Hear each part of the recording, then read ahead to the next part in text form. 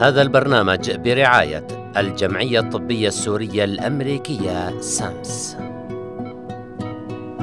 أسعد الله أوقاتكم متابعي برنامج عليكم العافية صياما مباركا إن شاء الله. ساعات تفصلنا عن رمضان. تختلف فيه إيقاع الحياة اليومية. ويكون لهذا الإيقاع وقع كبير على الأمراض المزمنة. كيف نجهز أو تحضير المريض؟ مريض السكري والقلب وأيضا الحامل لصيام رمضان. عنوان حلقتنا لهذا اليوم. نستضيف فيها الدكتور شادي للحديث أكثر عن هذه النقاط. أهلا وسهلا فيك دكتور. أهلا وسهلا فيك. طبعا فرصة سعيدة نحن إنه نلتقى معك في هذا البرنامج. لنتعرف عليك أكثر والمشاهدين أيضا يأخذوا بعض النصائح منك آه في رمضان. آه أريد منك في دقيقة الدكتور محمد شادي الراجح اول شيء كل عام وأنتم بخير إن شاء الله وطاقم بخير بألف خير وامتنا الإسلامية إن شاء الله بألف خير وبلغ الله رمضان وجعله يعني شهر النصر والفرج بإذن الله. الله. دكتور محمد شادي الراجح من درست وتخرج في جامعة حلب في عام 2012 وبعدها مارست طب العام والآن أنا في تركيا إن شاء الله ونسعى إلى إكمال الاختصاص هنا في تركيا. بإذن الله. إن شاء الله. آه دكتور أنا عندي كل شيء حمصي إلا الكرش حلبي. فلذلك هاي الحلقة يعني حلقتي هيك بدي آخذ كثير مع أحمد الدكتور دكتور آه مريض السكري يتطلب بعض التحضيرات على ما أعتقد لرمضان إذا كان عنده نية لصيام رمضان آه بالضبط دكتور لو خلينا ناخذ هيك تفاصيل أكثر كيف حضر مريض السكري؟ النمط الأول النمط الثاني مثلا والانواع الأخرى. تفضل بشكل عام اولا الأمراض المزمنة كل مريض يعتبر حاله خاصة يعني ما بنحسن نحن نعطي أول شيء نصائح عامة لكل المرضى. لذلك بنأكد على أنه أي مريض يعني يعاني من مرض مزمن يجب أن يراجع الطبيب بشكل عام. ولكن إذا أردنا أن نتحدث عن يعني عن مريض سكري بشكل عام ممكن أن نفصل بتحضير مريض سكري. يعني عندنا نمطين مرض سكري النمط الأول والنمط الثاني يعني المعتمد على الإنسولين والنمط الغير معتمد على الإنسولين. تمام. إذا أردنا يعني نعطي بعض النصائح مثلا لمريض السكري النمط الأول. أول شيء اولا يعني يجب أن يكون هناك المرضى بحالة مستقرة قبل رمضان. يعني يجب أن يكون المريض بحالة مستقرة قبل رمضان حتى يتمكن من الصيام في رمضان. ثانيا يكونوا المرضى يعني يعتمدوا على الإنسولين أو المرضى أو بشكل عام مرضى المرضى المزمنين بشكل عام يعني يعتبر كل مريض حاله خاصة، ما فينا نعطي مثلا قواعد عامة لكل المرضى يتبعوا لذلك نؤكد على إنه أي مريض تمام. بمرض مزمن وخاصة السكري وغيره يجب أن يراجع الطبيب قبل أن يتخذ أي قرار بخصوص الصيام وغيره هلا بالنسبة لمرض السكري إذا أردنا أن نعطي بعض النصائح لمرضى السكري لدينا نمطين من مرض السكري النمط الأول والنمط الثاني المعتمد على الأنسولين وغير المعتمد على الأنسولين تمام. إذا أردنا أن نعطي نصائح لتحضير مريض السكري من النمط الأول تمام. أولا يجب أن يكون المريض بحالة مستقرة قبل رمضان حتى تمام. يتمكن يعني من الصيام خلال شهر رمضان ثانيا يجب بما أنه هذا المريض يعني يعالج نفسه بالأنسولين يجب تمام. أن يكونوا قادرين على التحكم بمستويات السكر لديهم تماما وإبقائها ضمن المستويات الطبيعية في لديهم في في, في الدم يعني. تمام. ثالث شيء آه لازم يعني ضروري جدا يراجع الطبيب المختص، الطبيب المختص هو يعني بالنسبة لجرعة الأنسولين تمام. نحن نحكي. يعني يجب استشارة الطبيب المختص آه يعني للاستشارة عن الجرعات التي سيحتاجها هؤلاء المرضى في رمضان. آه الطبيب المختص هون راح راح يحدد نوع الأنسولين المطلوب، راح يحدد عدد الجرعات المطلوبة وراح يحدد توقيتها بنفس الوقت. من بين الإفطار لوقت السحور. تمام طبعا هذا الحكي يعني ممكن يصير دكتور تغيير في الاوقات والجرعات طبعا أكيد رح يصير تغيير. آه تماما. أكيد رح يصير تغيير بسبب إنه في عندنا فترة صيام طويلة جدا تماما. فأكيد الطبيب رح يغير من نوع الإنسولين ممكن يعطيه نوع إنسولين مديد ممكن تمام. متوسط حسب يعني حسب الحاجة. قلت لك كل مريض حاله خاصة ما بنحسن نعطي نصائح مش. بالنسبة للمرضى الموضوعين أيضا على مضخة الإنسولين. أيضا يتم آه يجب استشاره الطبيب المختص من أجل ضبط المضخة للمحافظه على مستويات السكر لأن تكون تحاول تكون ضمن الطبيعي يعني هون. في ملاحظة هامة هون آه بالنسبة لمضاعفات مرض السكر النمط الأول وخصوصا اللي بيصير مثلا مع مثلا مضاعفات مثل انخفاض السكر أو إرتفاع السكر والحماض الكيتوني. هون في ملاحظة جدا يجب إنه يكونوا ما بيعانوا من هي المضاعفات عموما.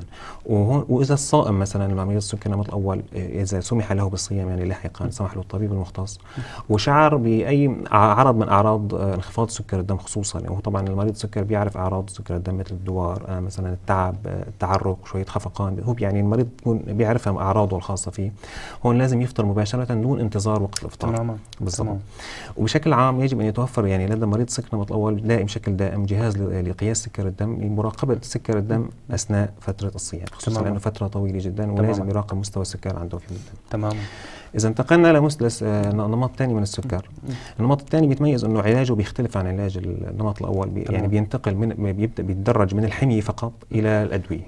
تمام. فإذا كان المريض مثلا لا لا يتناول أي أدوية ويعتمد فقط على الحمية الغذائية فهون الصيام إذا التزم بالحمية الغذائية طبعا وما وما آه ما يعني ما بالغ في في الطعام في خصوصا في شهر رمضان فالصوم بيكون مفيد له بشكل عام يعني الصوم يؤدي إلى انخفاض الوزن وغالبا من أسباب النمط الثاني من السكري يعني زيادة الوزن فهو تمام. هون الصيام بيكون مفيد له تمام بالنسبة لمرضى الحمية أيضا أو المرضى الذين يتناولون الادويه المنظمة للسكر وليس الخافضه تمام، للسكر تمام. أيضا تكون يعني يكون إذا استمروا بالحمية المنظمة نعم. بشكل منظم تكون يكون الصوم مفيدا جدا لهم طبعا تمام. بشكل عام هلأ بالنسبة للمرحلة الثالثة في ضبط السكر يعني إحنا عم نتدرج في ض- م- معالجة السكر النمط الثاني في المرحلة الثالثة اللي المرضى اللي بيتناولوا الأدوية الخافضة للسكر تماما في هالحالة هي هون لازم استشارة طبيب طبعا يسمح لهم بالصيام ولكن بعد استشارة الطبيب الطبيب هون بنفس لو مثل مرضى السكر النوع- الأول كمان ممكن يغير آه، أوقات الجرعه أوقات وجرعاتها في احيان في, في بعض الأحيان. هلأ في مرضى عالي الخطورة مثلا في عندنا أمراض الذي أمراض الكلوية الأمراض تمام. القلبية أو المريض القدم السكري تمام. واللي عم يتناولوا أمراض آه، أدوية السكري هون بهالحالة دول أمراض عاليه الخطورة هون بشكل يعني ممكن نقول إنه الصيام بشكل عليهم خطر. تمام. فلذلك غالبا لا ينصح بالصوم. بشكل عام اذا يعني هون لازم هون لازم استشارة الطبيب لازم استشارة الطبيب المختص بالنسبة للحميه لمرض السكر أو قبل نقولها بالنسبة للحميه لمرض السكر طبعا الحميه لمرض السكر بشكل خاص ومريض مريض بش وأي إنسان بشكل عام هون مرض السكر لازم يجب الابتعاد عن الأغذية الغنية بالسكريات مثل هلا الحلويات قبل الانتقال إلى أنواع الأغذية. لمريض السكري كما قد تفضلت حضرتك الآن إنه مريض السكري في النمط الأول عليه مراجعة الطبيب إذا كانت حالته مستقرة يمكنه الصيام طبعا بالضبط. بعد أخذ رأي الطبيب إذا كان عم بيعاني من أي حماض كيتوني أو انخفاض سكر. بالضبط. هنا يجب عليه الابتعاد عن الصيام يجب توفير جهاز سكر ومراقبه السكر لمراقبة السكر بشكل دائم. النمط الثاني كأنك قسمت اليوم لمن يتبع الحميه فقط. بالضبط. هذا يمكن أن يكون له صيام مفيد حتى إذا التزم بالحميه إذا وما. بالغ في الطعام تماما آه النمط أو النمط الثاني النوع الثاني من المرضى اللي قلت لي عم يتناولوا أدوية فقط منظم منظم للسكر. أيضا يعتبر الصيام بالنسبة لهم جيد آه النمط الثاني النوع الثالث من المرضى هون اللي عم ياخذوا أدوية خافضة السكر بالضبط ممكن الدكتور يعدل لهم الجرعات ويعدل لهم حتى. اوقات تناول. ال- آه، الدواء. طيب الآن بالنسبة لتغذية مريض السكري دكتور تفضل شو اللي لازم مريض السكري يجهز نفسه بشكل؟ عام هلا طبعا مريض السكري له حمية خاصة بشكل عام طبعا. هي بتكون يعني مأخوذة عن طريق طبيبه المختص يعني نعم. لكل كمان لكل مريض حميته الخاصة نعم. ما بنحسن نحدد مثلا كميات لكل المرضى لكل نعم. يعني مريض ولكن بشكل عام يجب إنه ال- الابتعاد عن الحلويات يعني طبعا بتعرف أنت في رمضان تكسر الحلويات يجب الابتعاد عن الحلويات وأكد على إنه الابتعاد على العصائر الجاهزة المحلاه هي العصائر فيها سكريات عالية جدا يعني نعم. الابتعاد عنها بشكل كامل. وهي يعني إذا التزم بهالأمور هي إن شاء الله بيكون يعني الصيام له ميسر بإذن الله.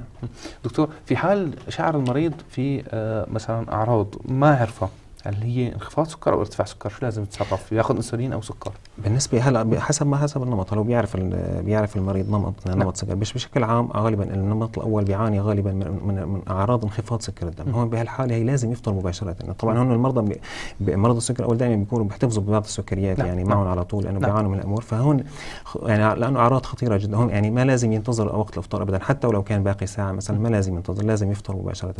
أو إذا أشياء حس أع- أعراض زيادة سكر ما راح يح... هون بالنسبة يعني في رمضان ما راح يصير عندنا أعراض زيادة سكر لأنه من الأساس إن المريض هو صائم. فغالبا الخطر اللي راح يتعرض له هو انخفاض سكر الدم. انخفاض سكر الدم بهالحالة. يجب عليه يجب عليه أن يفطر مباشرة دون انتظار حتى ولو باقي على يعني الأذان نصف ساعة أو ساعة لازم ما يستنى ابدا لازم. يفطر مباشرة. طبعا يراجع الطبيب بعد هالفترة لأنه ممكن يكون صار تغيرات ممكن يضطر يعني تغيير جرعات الإنسولين. تماما. تماما. دكتور آه، هل هناك أي توصيات لمريض السكري في رمضان قبل الانتقال إلى القسم الثاني؟ بشكل عام أول شيء أهم شيء نحن بشكل عام ناكد على مريض السكري الالتزام بالحميه بشكل عام. طبعا رمضان هو شهر شهر الخيرات.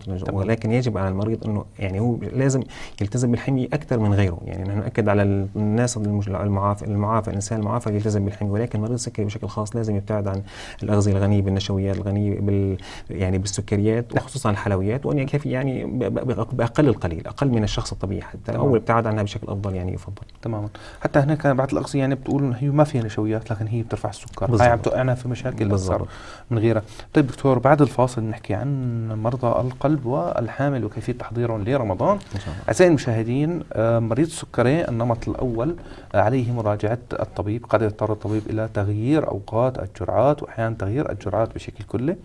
آه، النمط الثاني حسب إذا كان المريض يتبع فقط الحمية أو كان يتناول أدوية خافضة السكر يتناول الأدوية النظم السكر أيضا تحضيره لصيام رمضان يختلف. آه، الدكتور شادي ينصح كل مريض سكري أنه ياخذ القرار مع طبيبه الخاص في حال حصول أي مشكلة أثناء الصيام. آه، الإفطار بشكل فوري وعدم الانتظار للوقوع في أي مشاكل.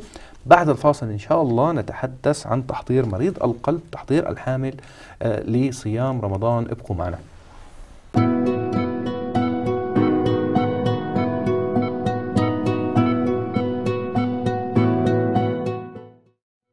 هذا البرنامج برعاية الجمعية الطبية السورية الأمريكية سامس.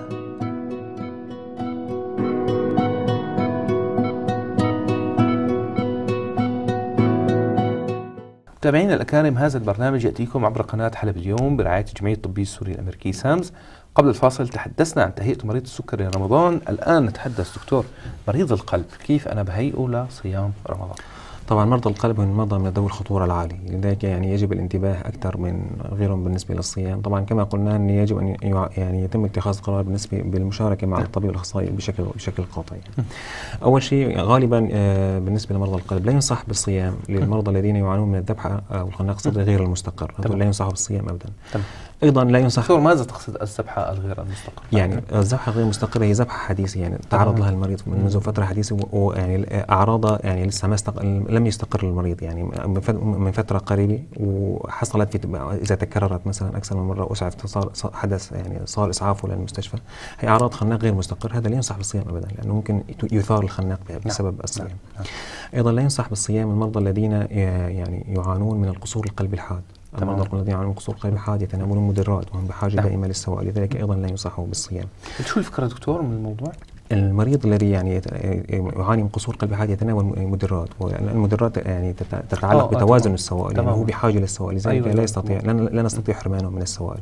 وهو بحاجة مدرات. وهو بحاجة مدرات تماما تماما أيضا لا لا يستطيع الصوم المريض الذي يعاني من جلطة حديثة. المريض الذي يعاني من جلطة حديثة إذا صام وامتنع عن السوائل هذا يؤدي لارتفاع لزوجه الدم. تماما. ونحن معالجته بالأساس تعتمد على تمييع الدم لذلك أيضا لا ينصح بالصيام. تماما بالنسبة للمرضى الذين لديهم أمراض قلبية يعني مستقرة مثلا ولكن قاموا بعمليات جراحية أخرى نعم. مثلا. أيضا لا ينصح بالصيام خلال الست أسابيع الأولى للعملية الجراحية تماما. بسبب أيضا كثرة الاختلاطات في هذه الفترة. بالنسبة مثلا بالنسبة مثلا لأمراض الشرايين التاجية أمراض الصمامات أمراض ارتفاع الضغط إذا كان المرض منضبط فيمكن لهذا لهؤلاء المرضى الصيام ولكن طبعا بمراجعة الطبيب المختص. يعني تمام. يكون القرار قولا واحدا مأخوذ عن طريق الطبيب المختص. تماما. هي بالنسبة للأمراض القلبية بشكل آه العرق سوس لمرضى القلب. العرق الخصوصي يعني يفضل الامتناع عنه في رمضان ابدا لأنه حتى ولو كان المرض مضبوط يمكن يؤدي إلى نوبات من الارتفاع تماما تماما كثير سريع دكتور. أه هل لمريض القلب توصيات أخرى قبل بالنسبة فقط للحميه طبعا نؤكد على بالنسبة لمريض القلب الحمية طبعا عدا عن الحمية بشكل عام وعدا عن إنه توصية المريض القلب بعدم الإكثار من الطعام يعني ينصح بالابتعاد عن الاغذيه الغنية بالدهون. طبعا هو عنده حمية بالأساس عن الملح يجب أيضا التأكيد عليها. أيضا يفضل آه، تقسيم وجبة الفطور الفطور إذا أمكن إلى قسمين مثلا حتى لا يتم إرهاق القلب يعني عندما تمتلئ المعدة يتم ارهاق القلب فإذا اذا أمكن أنه تقسيم وجبة الافطار فهذا أفضل بالنسبة نعم. لمريض القلب. نعم نعم. طيب دكتور بالنسبة للمريضة عفوا وليست مريضة هي بالنسبة للحامل. الحمل عموما بشكل عام إذا لم تكن تعاني من أي مشاكل يعني كان الحمل سوي ولا لم تكن هناك مشاكل في الحمول السابقة لا يمكن لا يعني يمكن لها الصيام طبعا بمراجعة المختص ولكن إذا كان لدينا حامل مثلا ولديه كان لديها مشاكل في النمو الطبيعي للجنين في الحمول السابقة هي الحامل لا تنصح بالصيام. نعم.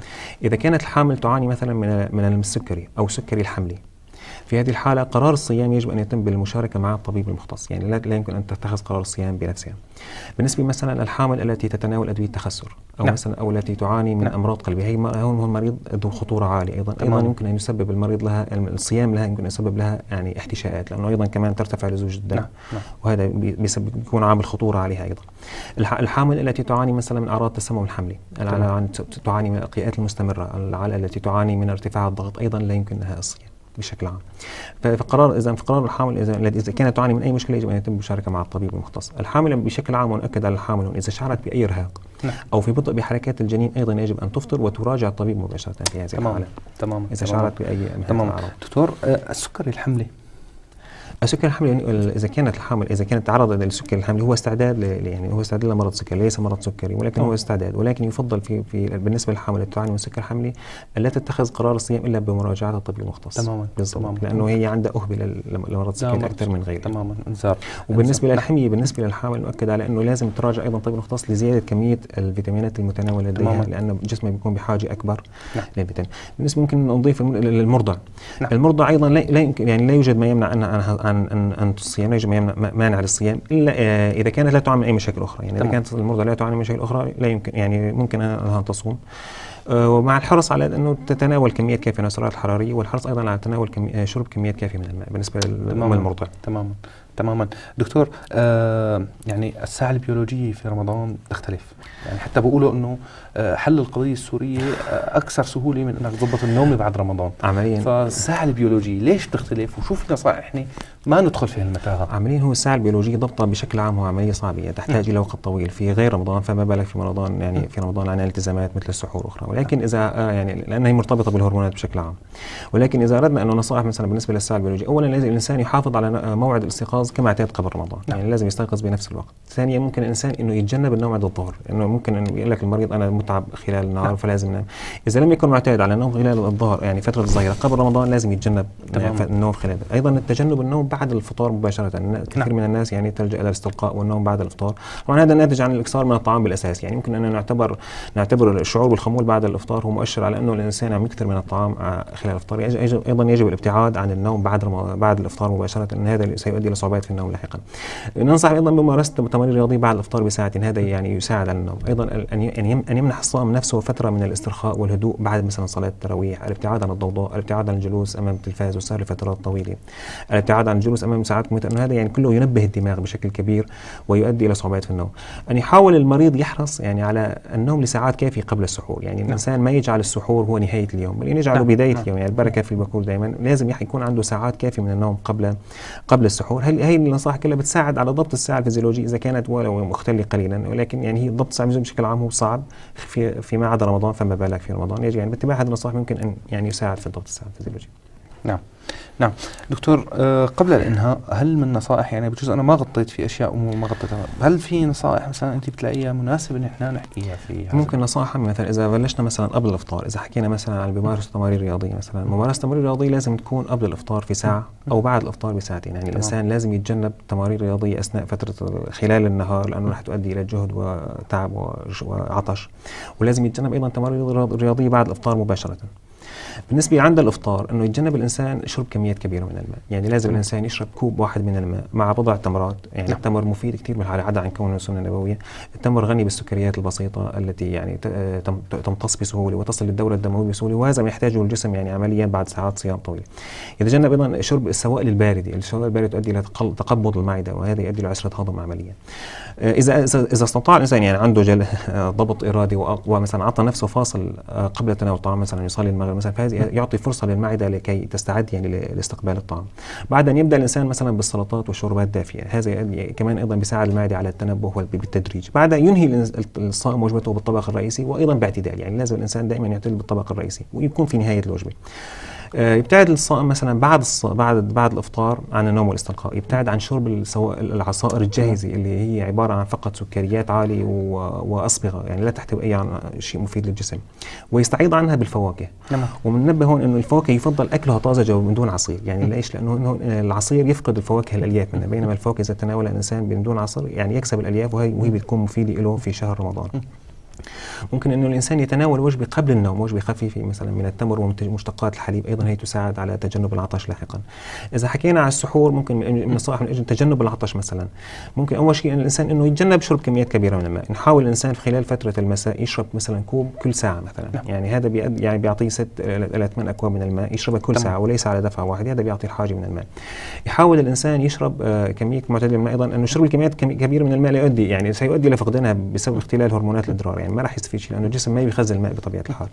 يحاول الانسان يكثر من الاغني من الأغذية الغنية بالبوتاسيوم. البوتاسيوم يساعد على تنظيم سوائل في الجسم ويساعد ما هي ما هي دكتور؟ مثلا الأغذية الغنية بالبوتاسيوم ممكن نقول الحليب. طبعا. الموز التمر من الفواكه عندك أفوكادو الكيوي ممكن الفاصوليا المشمش المجفف هي كلها أغذية غنية بالبوتاسيوم والبوتاسيوم يساعد على حفظ الماء في الجسم وتوازن السوائل بشكل عام. وبالمقابل لازم يبتعد عن الأغذية الغنية بالصوديوم الملح تمام يعني. لأنه هذا تؤدي إلى خسارة الجسم للماء يعني من الأغذية مثلا بنحط على راس الأجبان المالحة تمام. اللحوم والبهارات مثلا تمام. المخللات مم. الوجبات الرئيسيه الجاهزة يعني الأطعمة الوجبات السريعة مثل البرجر البيتزا كلها أغذية غنية بالأملاح. بالنسبة مثلا ممكن نحكي للأطفال. الأطفال مثلا طبعا يجب يتجنبوا الصيام إذا كانوا مثلا أقل من 10 سنوات قولا واحدا. وطبعا هذا بيعود لتقدير الأهل طبعا. ولكن نؤكد على تأخير السحور بالنسبة للأطفال. وأهميته بالسحور بالنسبة للأطفال أكبر من أهميته بالنسبة للكبار. تمام. خلال النهار إنه نحاول نجنب الطفل يعني النشاطات البدنية الزائدة. نعم. نحاول نستعيض عنها بنشاطات يعني مثلا فكرية كقراءة قرآن ومسابقات وغيره هي يعني هي أهم النصائح بالنسبة لفتره فترة السحور. دكتور آه بس بدي ارجع معك شوي على موضوع الصوديوم والبوتاسيوم. لي الأكلات والوجبات الجاهزة تكون فيها صوديوم. الصوديوم ما مشكلته مع مشكلة الصوديوم إنه بي بيؤدي إلى فقدان السوائل. يعني بتنتقل السوائل من الحيز داخل الحيز خارج والجسم بيخ يعني بيفقد السوائل تماما. بسرعة يعني. تماما. لازم يعني هو عبارة عن ملح لأن الملح يمتص يعني بصير في شعور بسرعة. بسرعة لازم يتجنب الأغذية حتى خلال قبل السحور يعني. حتى خلال مخللات ممكن نتناولها أثناء الإفطار كمان لازم يبتعد عنها بشكل عام وإنه يحرص على الأغذية الغنية بالبوتاسيوم. طبعا وجبة كمان إن وجبة قبل النوم إذا كانت من مشتقات الحليب والتمر. كمان التمر غني بالبوتاسيوم. كمان تعين على أنه الإنسان آه يعني ما ما يشعر بالعطش بس بنأكد مرة ثانية على إنه شرب الماء بكميات كبيرة غير مفيد. يعني نعم. لازم الإنسان دائما خلال فترة المساء يحرص على إنه يتناول كل ساعة مثلا كوب من الماء. ما يشرب كميات يعني ممكن بيجي الصائم عند السحور بيشرب آه لتر أو لترين ماء. هذا الأمر لن يفيد. يعني الجسم لا يحتفظ بالماء وسيؤدي إلى فقدان الماء بسرعة. كمان بننصح مثلا بالنسبة للمنبهات القهوة والشاي هي عبارة عن مدرات. كمان يجب الإنسان يبتعد عنها قدر المستطاع. يعني إذا ولا بد الانسان معتاد على القهوة أو معتاد على شيء يشربها آه لا يشربها طبعا عند السحور إنه يشربها بعد الإفطار بساعتين إلى ثلاث. نعم. وحاول يقلل منها قبل النوم ما يشرب منها لانها عبارة عن مدرات وراح تؤدي إلى خسارة الجسم من الماء. نعم نعم. أشكرك دكتور نصائح حلوة ومفيدة مختصرة وسريعة. إن شاء الله نقدر نطبقها كاملة لأن كل واحد فينا عنده خطأ من هذه الأخطاء. آه نتمنى لقائك إن شاء الله في صحة وخير في حلقات قادمة. متابعينا الأكارم آه برنامج عليكم العافية كما أقولها دائما آه ليس نصف ساعة فقط على التلفزيون. نحن نقوم بتحميل الحلقة على كافة وسائل الميديا الخاصة ببرنامج والقناة. أيضا للقناة تطبيق للبث المباشر على الجوالات. يمكن متابعة البرنامج من خلاله. لمن لا يتثنى له الحضور بشكل مباشر. أرجو أن نلقاكم بكل صحة وخير. ورمضان كريم. والسلام عليكم.